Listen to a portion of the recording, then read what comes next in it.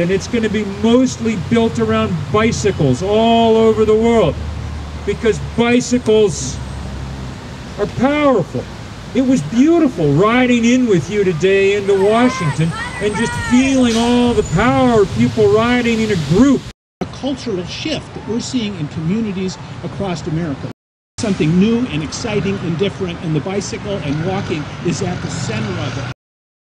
They're a part of the solution the world over. Transportation policy that will, would give, would give us very different outcomes.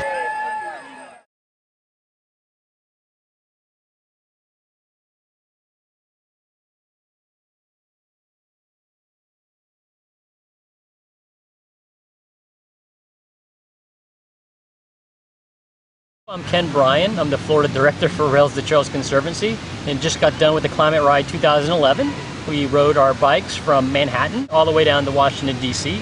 A total distance of about 305 miles. I'm Steph Rio. I'm Sarah Ling. uh, we're both from Philadelphia and we just finished Climate Ride. It was pretty wild. There were lots of hills. it was challenging, but it was rewarding.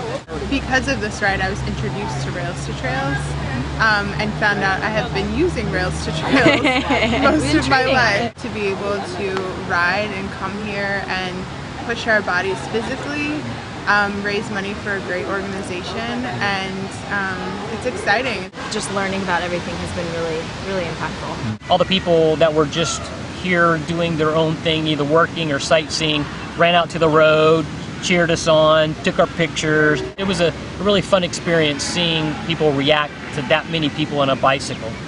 It was awesome, the support that we got and the friends that we made, just to see that there's this huge group of people that really does care enough about the environment. I think this is all part of her learning something that they're probably not going to touch on in her school. That um, we need to be active and we need to have our voice heard. And if this is the way you want to do it, it can be a lot of fun. People in communities across America, they're tired of living in places where they don't have any choice but to drive. They're concerned about the obesity epidemic. The bicycle is one of the very few things that both rich people and poor people use that makes as much sense in the global south as in the global north. They're concerned about the impact of their travel on, on the climate. You guys felt real power the last five days.